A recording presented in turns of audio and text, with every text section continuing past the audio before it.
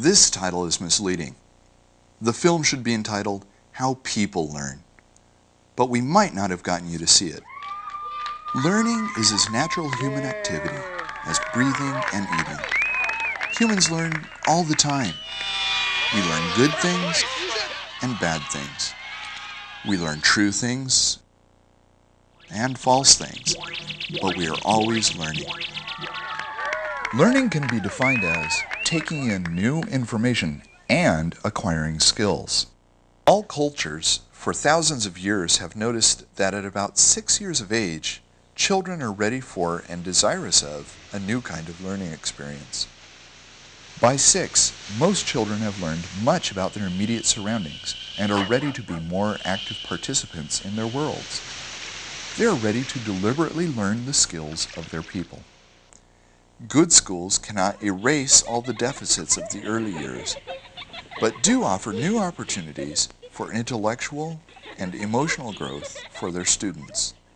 Most of what we learn in school is deliberately learned. For young children, this is new because most of the things we learn in our early years we learn effortlessly. Purposeful learning involves mental effort, and thus we have to want to do it. How can we help children learn better in school? The primary grades are critical for setting a tone for school learning. There are certain attributes that are very important for school success. Feeling safe is crucial. Our brains block complex learning when they are flooded with fear. Children need to feel physically and emotionally safe in their schools. Feeling valued is also an important component of a good school experience. Continuity. We do know that new learning has to connect to old knowledge. Children need many bridges to link new pieces of information to old ones. Good, cried. And if we put a T in front of that, what would we have? Instead of cried, it would be Good for you. Creativity.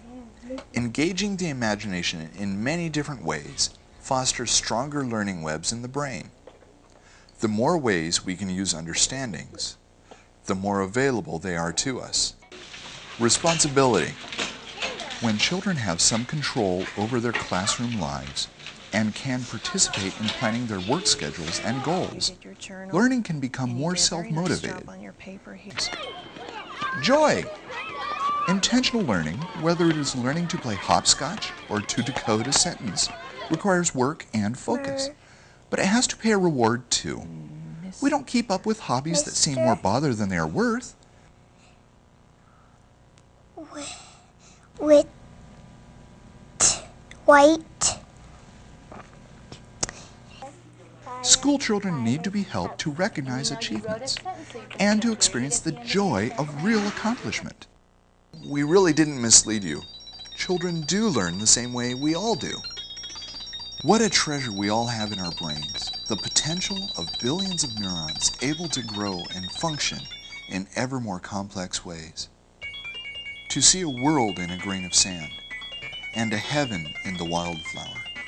Hold infinity in the palm of your hand, and eternity in an hour and for all of us who teach in whatever capacity, the wonder of sharing this magic with children.